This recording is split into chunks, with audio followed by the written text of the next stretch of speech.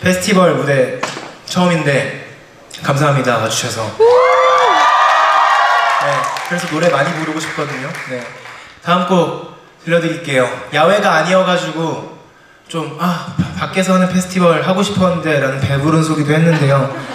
역시 저 같은 놈한테는 이런 지하 벙커 같은 곳이 딱입니다. 네 여러분 가짜들 몰아내고 부수러 갑시다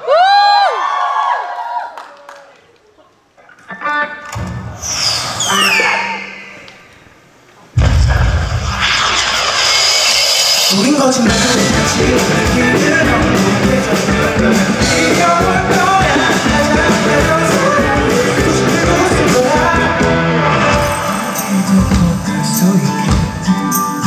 거야 상상 조각내 보자